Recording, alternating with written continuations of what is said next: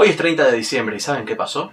Volvió a la intervención de las agencias estatales, el reescribir la historia, el eso no pasó, el me quiero ir, el relato kirchnerista, ¿y saben por qué? Habrán escuchado algo que Alberto dijo en las novelas de Borges, y varios medios salieron a pegarle diciéndole Borges nunca escribió ninguna novela. Y este video iba a ser sobre eso, sobre jaja, dijo las novelas de Borges, Kisilov dijo Aiga, Cristina dijo presidenta, presidente es machista.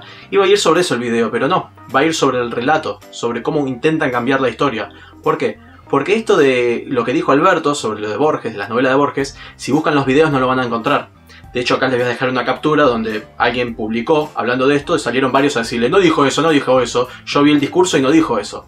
Pero sí lo dijo. ¿Pero qué pasó? Pasó que si entran a los videos oficiales, es decir, Telam, que es la Agencia Nacional de Noticias, o de la Casa Rosada, intentan ver el video de la Casa Rosada, yo voy a dejar los links acá abajo, o si intentan ver en la Casa Rosada donde está la parte de los discursos, van a ver que cuando Alberto dice lo de las novelas, lo borraron. Lo borraron burdamente. Alberto se puso a hablar y dijo, sí, bueno, porque las novelas de Borges, y, habló un poco sobre eso, y eso lo sacaron.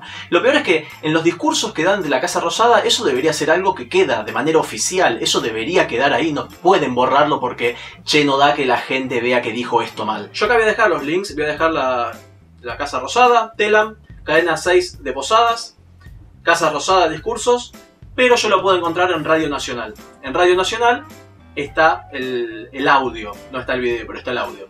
Así que les voy a dejar el audio y una parte del video. Y había un poema de Borges que se llama Las causas, que lo leí un día publicado en la sección de cultura del diario La Nación. Y nunca más lo olvidé. Y que es un poema que en el próximo acto deben incorporarlo, porque es un poema maravilloso de Borges. Maravilloso como es maravillosa la poesía de Borges.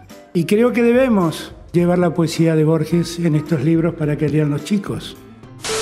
Y había un poema de Borges que se llama Las causas, que lo leí un día publicado en la sección de cultura del diario La Nación, y nunca más olvidé.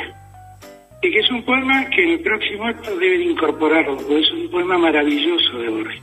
Maravilloso como es maravillosa la poesía de Borges. Borges es más reconocido por sus novelas, pero la poesía de Borges es esplendorosa, esplendorosa. Y creo que debemos llevar la poesía de Borges en estos libros para que lean los chicos.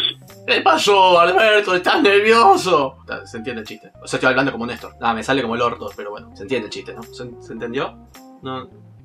Eh,